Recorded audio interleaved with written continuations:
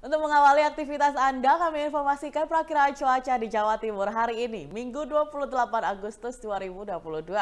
Menurut data dari Badan Meteorologi, Klimatologi, dan Geofisika atau BMKG, hari ini diprediksi tidak akan turun hujan di seluruh daerah di Jawa Timur. Mayoritas akan bercuaca cerah hingga cerah berawan.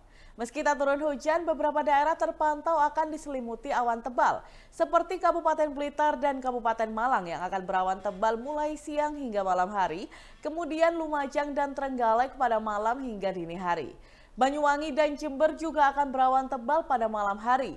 Begitu juga dengan Bojonegoro, Kota Blitar, Pacitan, dan Tulungagung pada dini hari. Untuk kota Surabaya, BMKG memprediksi akan cerah berawan di pagi hari dan cerah di siang hari. Pada malam akan kembali cerah berawan dan pada dini hari akan cerah. Suhu Surabaya hari ini berkisar 25 hingga 34 derajat Celcius dengan kelembaban 50 hingga 85 persen.